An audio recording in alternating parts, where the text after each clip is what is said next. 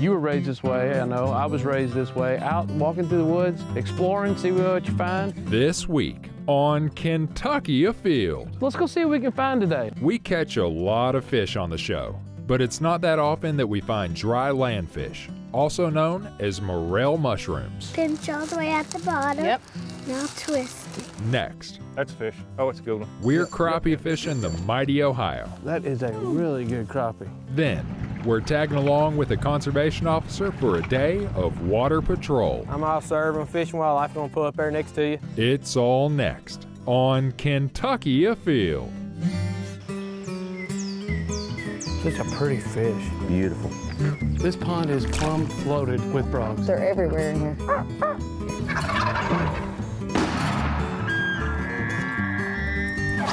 Yeah, this is a good fish right here. Really good fish. Come here, girl. Yeah, boy. That's a big rabbit. Nice job. Yes! Yes! My first muskie. Mercy Leo! Yeah, look at here's a keeper. Here it goes. Boom. Oh. Wow, that happened fast.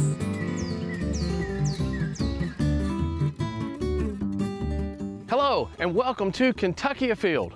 I'm your host, Chad Miles. Join us as we journey the Commonwealth in search of outdoor adventure. Some of my greatest memories as a child was just exploring the woods to see what I could find. And sometimes, if you're lucky, you may even fill a skillet.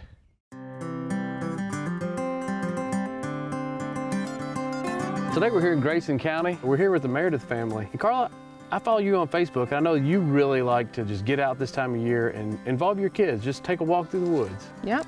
We're outside all the time. all the time. And then you brought your daughter and your son here, and uh, we're gonna do some fun stuff today. You were raised this way, I know. I was raised this way. Out walking through the woods, exploring, see what you find. And April's a great month to do it. All the ground cover is not grown up, and we may find all kinds of things today. What, what Yeah. kind of things are we looking for? Might find a shed antler or some morel mushrooms. Uh, you might even find an arrowhead. You never know. This is how most kids should be introduced to the outdoors. Walking through the woods. Let's go see what we can find today. You ready? Look here. Look at this. Awesome. They got a name for these, don't they? Hickory chickens. Um, what else? Dry land fish. These are really, really, really good to eat. Oh, yeah. You knew you were out today walking through the woods. This was an opportunity to potentially find some of these. You brought a bag. Well, I've always been told you're supposed to use a mesh sack so that the spores can spread and maybe more will grow in this spot next year. I tell you what, if you have a spot that produces morels year after year, you've kind of got a little slice of gold. So you want to try to protect it if you can, but to bring them out in the sack just in case the spores can fall out. Are you So gonna pick it? You know how to pick these? You want to show us? Pinch all the way at the bottom. Yep, Now twist. perfect. Looky there. Look what you've got. So if your mama takes that home tonight and uh, and puts that in the skillet, you gonna give it a try? Or maybe tomorrow she's gonna soak it overnight first. Yeah. No. You already see another one? Well, I pick it. Ooh. Take that part off. Man, look at that. That looks so good. I found two mushrooms by myself. You sure did. So Owen, I noticed a while ago you had a little different approach to looking for these morels. I noticed you took a knee. Yeah. Show me what you were doing and uh, tell me why you do that. I get down. I mean, you hear bird's eye view might be the best sometimes, and if you get down, because they're hard to see. I mean, that big or that big, they're Mm-hmm. Yeah. camouflage. So if you get down, just scan. You Yeah. see. Yeah, and plus we do have some uh, leaf litter as well as you know some green foliage with these May apples coming up. If you're standing like this, it might be blocking the view, but if you kind of Yeah. get down and look, you, can can kinda see sometimes. Well, it works because I, I think you spotted two of those first, so it must work pretty well for you. Yeah. Nice one here. Look at there. Yes. What a pretty find. A beautiful morel mushroom. So Carla, when you're out looking for morels, tell me a little bit about what do you look for when you're looking for morels? Damp areas near Yeah. streams. Usually when you see May apples, that's a good indicator that the ground is damp. I think the weather conditions are the biggest factor in how many you're gonna find and where. Yeah.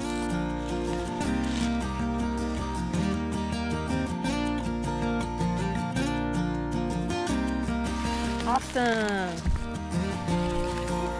Are we going back to the cabin? Is this where we found the last one? Yep, I think Alea picked the last one right here. We should look up in that drain right there. You know what? It's, there's probably some extra moisture right there. You're Let's probably check it right. out. All right.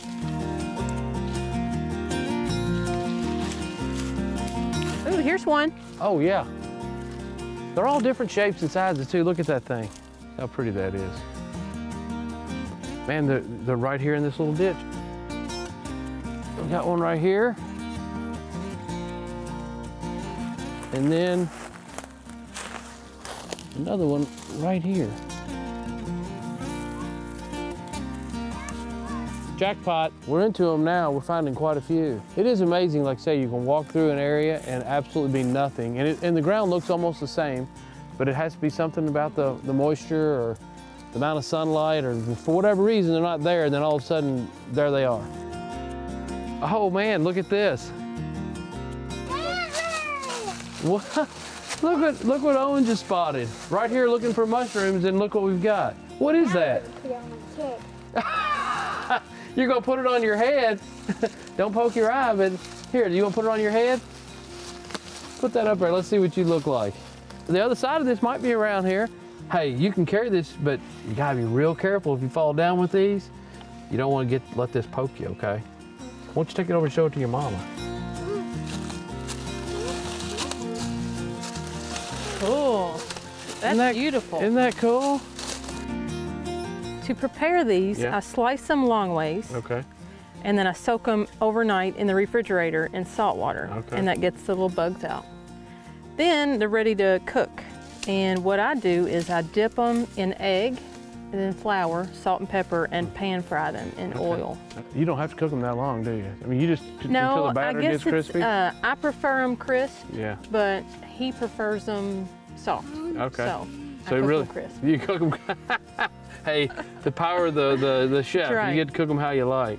Well, I'll tell you what, Carly, you are truly a modern day country woman. Full-time job, raising two kids, but you're finding time to get these kids outdoor, and they're doing things that you love, but you're kind of passing on this to the next generation. Well, thank you. I appreciate you having us out today. Hey, I'm even found a came. found an, an antler shed uh, for, uh, to add to the haul. So over 40 mushrooms and an antler shed. That's a, that's a good afternoon in anybody's book. Good couple hours. Yeah, fantastic. Thank you so much. You're welcome. You can catch crappie in the state of Kentucky nearly all year long, just about in every county here in the state, including the entire northern border.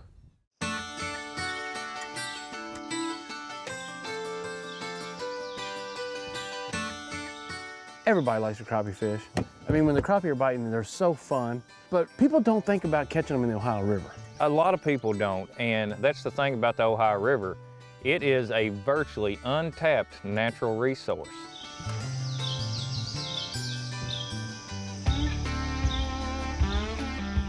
I have fished all over this country with American Crappie Trail. I went fun fishing at a lot of different states, and I'd rather fish right here on this river than anywhere. Because when you do catch them here, a lot of times they are huge crappie. And that's the thing, you've got to get in the tributaries, not out on the main lake. And once you get back there, if the bite's on, it's unbelievable. Today we're gonna try to spider rig 'em. Yes, we're gonna spider rig. We'll be putting out eight rods, which in Kentucky, you can use eight rods. We're gonna be using a single jig head setup with a quarter ounce split shot above it. And then we'll tip our soft plastics with a minnow. I go through the bottom lip and out the top lip. Okay. See the action on that dude? I noticed that you've got options with this bait to either pull these apart or leave them attached, and uh, Yes. you've got them all attached right now. Yes, they are all attached right now.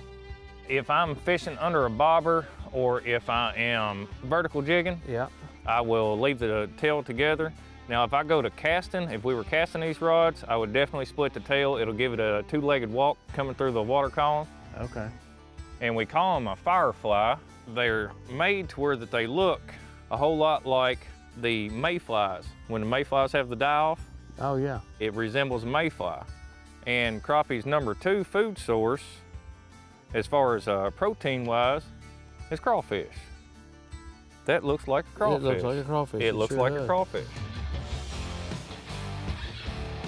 You can feel any of these rods when they get that thump by laying your hand on one of them. In calm conditions, kind of like this, if I've got my hand laying on here the way that we've got them mounted, I can feel a bite on your side if it's a hard bite. Oh wow. Oh, I got him. Oh, what had I got? I don't know, but if that's a crappie, it's a monster. Catfish. There we go. That's the thing of using live bait. Yep, that's the Everything thing I- about using live bait. Everything sir. I eat, eat a tuffy minnow, so there you go. That's about perfect eating size if you wanted to Yes, sir. make a mess of them right there. That is just absolutely perfect. Are you wanting him? I don't want to mess, but if you want Okay, them, then no, uh. I'll help you clean them. I just started crappie fishing about three years ago. My friends crappie fished a lot. I thought it was the weirdest thing in the whole world that they would go out there and freeze their butts off in the wintertime to go catch fish. I thought, well, fishing's just a summertime deal. And then I started crappie fishing. They finally talked me into it. And after I went, I was hooked. So you literally went from three years ago knowing nothing about Nothing crappie about it. fishing to fishing professionally. to selling my business, buying a boat that I would have never thought in a million years I'd have gave that much money for a doggone boat, to professionally crappie fishing in three years. Three years. Wow. The key to crappie fishing is having a very supportive wife. We're sitting exactly where I caught the biggest fish over the past week at right now. Oh, really? Oh, see that one? Yep, get him. Uh-oh. I don't believe we got a crappie. Another catfish? I think so. Look, hey, at least he hit pole four on the outside. That's uh, That is a plus. Another nice little channel cat. Looks like that's what our show should have been on this morning. we're spider rigging for catfish. Spider rigging for catfish. Oh, he's on her. Sure is. That's crappie number one. There you go. Another crappie. Another white crappie. Let him go back here. Ohio River is traditionally a one and done for single poling. Oh, really? Yes. And by single poling, I just mean vertical jigging. Mhm.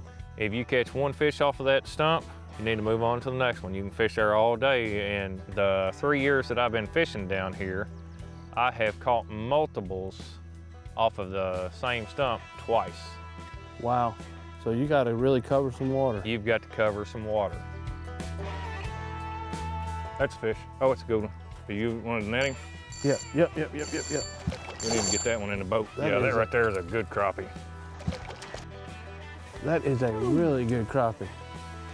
Wow. Dude, that's a 14 inch or bigger crappie. That's one of them hogs. Look at that. Look at that fish. What do you think? That's a pound crappie there. Yes. That right there is what the Ohio River is all about. It's a really, really good crappie. Chad, what do you say we make a move, buddy? You know, you told me there were two or three little creeks you could fish down here real close to that put-in site. Might as well go down here and check this next creek out and just see what's there. Yes, sir. We'll go down there and check it out. That sounds good.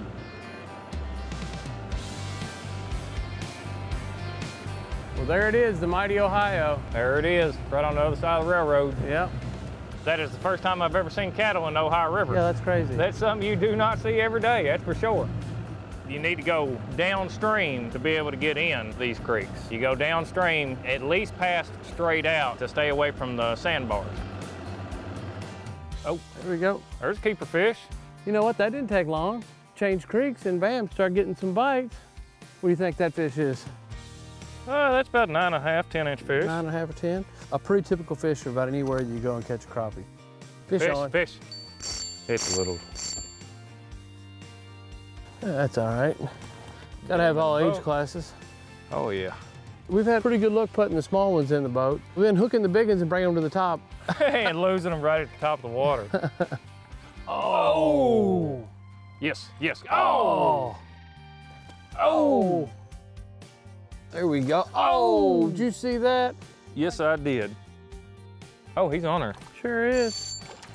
Way out there, the deepest rod out. We got eight rods out. Deepest rod out, there's another keeper. Nice job, man.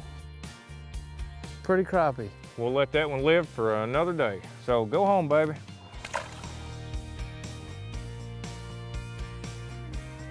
There we go. Yep. Like I said, we struggled with putting the big fish in the boat. We've hooked a lot of good fish. We've hooked them, yes. We've had more than our opportunities today for numbers and for big fish. Just get on Google Earth and look up and down through there because you might miss it, especially this time of year where the foliage is out. You might be driving down the river and just miss. Completely miss it. And you can see it opens up really well after you get back in here, and you wouldn't know that without Google Earth. Yeah, exactly. Well, hey, you made me a believer. The Ohio River is a place if you want to catch crappie that you can come and you can come in tough conditions. It's been a fun day. Well, I appreciate it, man. Thank you.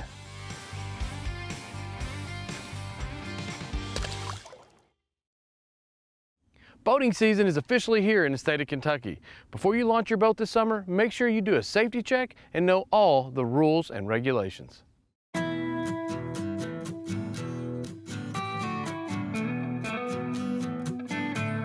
We are on Green River Lake today, and we are going to just be out on normal patrol. Our main goal today is going to be to enforce public safety laws and make sure everybody stays safe. We want the sportsmen and women of Kentucky to enjoy the waters, but we want to make sure they get to go home tonight. So we're going to be enforcing life jacket violations, riding in dangerous positions. If we come across any fishermen, we'll check a fishing license or two while we're out here and also BUI enforcement for anybody that may be operating a vessel under the influence of alcohol. So those are the type of things that we'll be looking for today.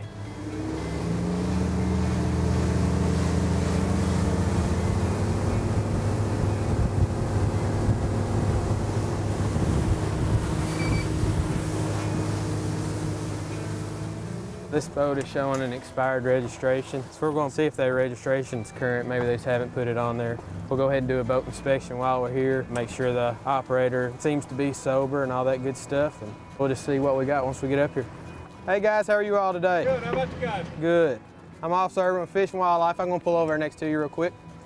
The reason I'm stopping you is I don't see any registration on this side. Is there I didn't know we had to have one. I'm, Got, I'm from Florida. where is this a Florida boat? It is. Okay, I gotcha. got a registration. You got your proof of registration with you? While I'm here, I'm gonna go ahead and do a boat inspection as well. That's fine. That's fine. If I That'd be could good. see a uh, life jacket for you two, a wearable life jacket. I see all of it laying right there in the back. When we pull up for a boat inspection, this is what we are looking for. Every boat has to be equipped with a wearable PFD for everybody on board. And if your boat is 16 foot or longer, it also has to be equipped with a Type 4 PFD, a throwable device. You also have to have a fire extinguisher if you have a gasoline motor. It's good. And you also have to have a sounding device, whether that be a horn or a whistle. Whistle's here. Good deal, guys. Y'all got everything you're supposed to have. I'm gonna push off and y'all enjoy the rest of y'all's day, okay? That was a Florida boat, so that's the reason they didn't have any registration on one side because state of Florida, you only have to have registration on one side of your boat. However, that is, you know, enough for a stop. He did have it registered as he was supposed to have, so there's no violations. So there's two guys fishing off this boat over here. We'll go ahead and check their fishing license and their creel, see if they've got any fish on board. Hey guys, how are you all today? Good, how are you? Good. I'm Officer Urban Fish and Wildlife. Gonna pull up there next to you. Go right ahead, brother. Y'all catching any fish? Just seen one. Did you? Yeah. Gotcha. Thank you, sir. All right, that's it. I appreciate it, man. Thank you. Yeah, there you go. Thank you, sir. That's it. Can we take a look in y'all's live well while we're here? Don't mind a bit in the world. Awesome. Y'all do some musky fishing too? Yes, sir. Is that what y'all are after today? yeah, I mean, they're fun. Yeah, absolutely. You know. Well, good deal, guys. I hope y'all have a great evening. Catch a bunch of fish. So we got the check fishing license right here. Everybody was compliant, super friendly, and uh, no fish yet, but you know maybe they'll get on later this evening. A lot of times I get asked, what does a conservation officer do? And I think a lot of people don't understand this because there's so few of us. But just so everybody knows, a conservation officer, we have full enforcement powers just like any other police officer in the state. We do have a specific mission set.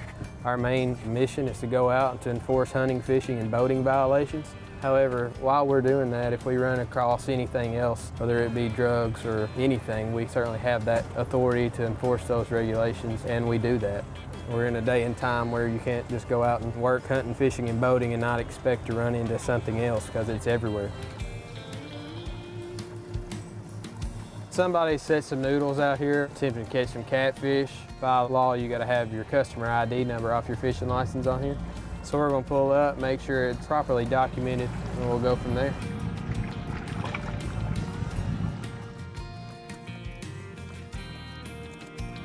And they've got it on there. We can actually run that customer ID number through our system and make sure whoever set these noodles has a current fishing license. So this is a legal noodle. I'll uh, throw that back in the water and we'll go out here and get a count on them, make sure they don't have more than their 50 that's allowed to have by law. It looks like they got 49. They are compliant and good to go. There's a couple kayakers over here. I'll go over and check on them. Hey guys, y'all doing all right today? Yeah. Good, I'm all serving Fish and Wildlife. Y'all have any luck? 1098. 1098. Gotcha. He's at least 12 inches, so he's good. Y'all got a fishing license handy? All right, thank you, sir. All right. All right, thank you, sir. All right. And what about you, man? I have it. I don't have it on me. You don't have it on you? No. He gave me his name and date of birth, so I did call it in and ensured that he did have a current 2019 fishing license. I just want to make sure that everybody knows that you do actually have to have your fishing license on your person and you can be issued a citation for that. The individual today was issued a courtesy warning. So you've got a life jacket, you got a life jacket, everybody's got life jackets, so I appreciate that. I think a lot of times I see kayakers out on the water and they don't understand or they don't know the law about having to have a life jacket with them. It is a vessel, it is on the water, and by law you do have to have a life jacket with you in the boat. Well guys, I'm gonna push off, y'all be safe. Enjoy the rest of y'all's evening, okay?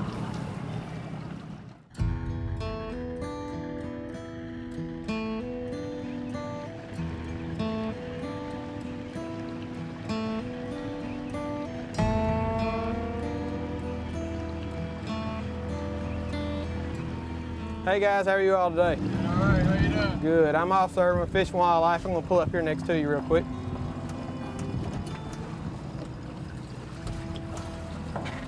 Thanks, guys. How you fellas doing? I'm doing great. Hey, man, first time stopping you, you're showing a expired registration sticker up in the front. I know this is a rental boat. Oh, yeah. I noticed that once I once I stopped you. So I tell you what I'm gonna do. I'm just gonna do a boat inspection real quick, make sure y'all got everything you're supposed to have. If I could, drive, you're the operator, so if you could just get me a life jacket for everybody on board and just hand them out. Y'all sit down, just let him hand them out. There you go, buddy. You got a throat cushion, like a square throat cushion. Square right there. All right, a fire extinguisher. Make sure it's good. Still green? Yeah, it's good. Thank you, sir. Appreciate it. And a horn or whistle, something makes a noise. So you got a whistle right here. I mean, I see some alcohol, some flask. How many of you had to drink today? Not a whole lot. So as conservation officers, you know, we do wear many hats. We get to check a lot of people fishing, hunting, boating. We want people to be able to come out here and enjoy the outdoors. That's what our job is, is to make sure that everybody stays safe and whenever people make poor decisions, they put other people in danger, then we have the job to do whether that be issue a citation or make an arrest.